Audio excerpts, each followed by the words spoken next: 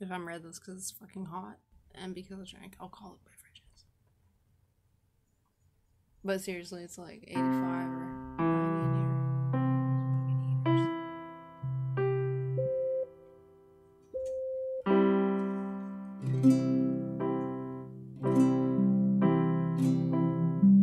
Possessions never